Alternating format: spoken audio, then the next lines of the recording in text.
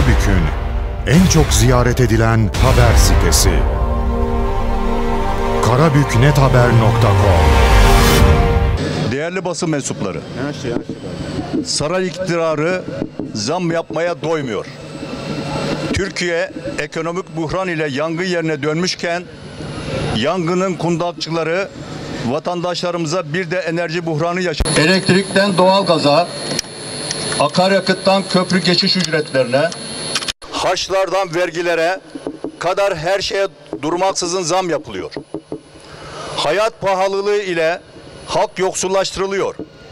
Vatandaşımızın pazar fileleri boş, tencereleri boş, cüzdanları boş.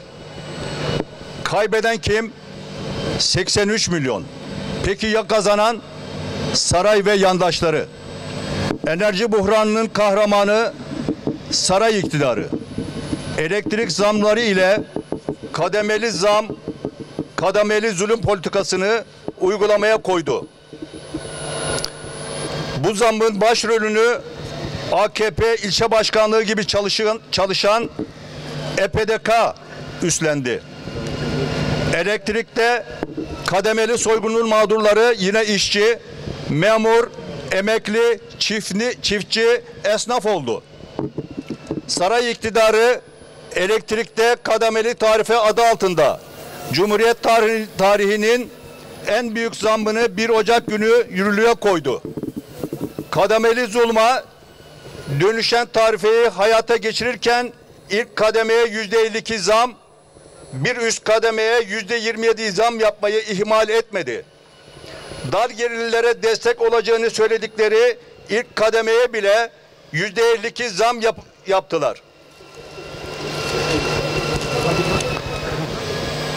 Şeytanın bile aklına gelmeyecek bu düzenlemeyle zamlı elektrik faturalarıyla vatandaşı çarptılar. Kademeli tarife öyle bir döneme denk geldi ki Aralık ayı zamsız, Ocak ayı ise zamlı elektrik bedelleriyle hesaplandı. Bu geçiş döneminde Aralık ayı tüketiminin yaklaşık yüzde 20 yaklaşık 20 günü eski zamsız tarifeden Ocak ayı tüketimi yaklaşık 10 günü de yeni zamlı tarifeden hesaplandı. Ocak ayının 10 günlük ele- elektrik tüketim fiyatı ile yazılan fahiş zamlı faturalar büyük tepki topladı. Çünkü faturalar 2 ila 3 kat arası arttı.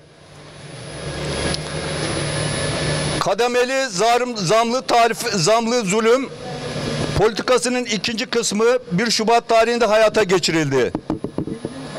Bu kez AKP Genel Başkanı zaten fahiş zam fiyatı ile kademenin 150 kilowatt saat yerine 210 kilowatt saate çıkarılacağını duyurdu. Cumhuriyet Halk Partisi olarak üstüne basa basa kademeli tarife, sol saat tarife olmalıdır. Defalarca düşük kademe zam yapılmadan en az 230 kilowatt saat olmalıdır diye uyardık. Sarayın ben yaparım olur zihniyetiyle ısrarlı, basiretsiz yönetimi vatandaşlarımızın bütçesinde yeni gedikler açtı. Zam, zulüm, De- işsizlik, işte AKP. Zam, zulüm, işsizlik, işte AKP. Değişen hiçbir şey olmadı. Elektrik tarifelerinde Cumhuriyet tarihinin en büyük zamları hala yürürlükte. Dört kişilik bir ailenin 230 kilowatt saat elektrik tüketimi için Aralık faturası 210 liraydı. Ocak ayında 370 lira oldu. Şubat'ta ise 330 lira olacak. Yani zam yine zam olarak kaldı. Vatandaş fahiş zamların hayat pahalılığının altında eziliyor. Saray iktidarı tarife oyunlarıyla kendi yaptığı zamların üstünü örtmeye çalışıyor. İşin aslı Şubat ayı faturaları vatandaşlarımıza gönderildiğinde bir kez daha bir kez daha ortaya çıkacak. Öte yandan ticarethane tarifesine de en üst kademeden tarihin en büyük zammı yapıldı. Cumhuriyet Halk Partisi olarak bir kez daha söylüyoruz. Elektrik insan hakkıdır. Ulaşılabilir bir insan yaşam koşullarında ödenebilir bir ücret olmalıdır. Cumhuriyet Halk Partisi olarak vatandaşlarımızı yaşadıkları enerji buhranından çıkaracak acil uygulamaların derhal hayata geçirilmesi çağrısını yapıyoruz.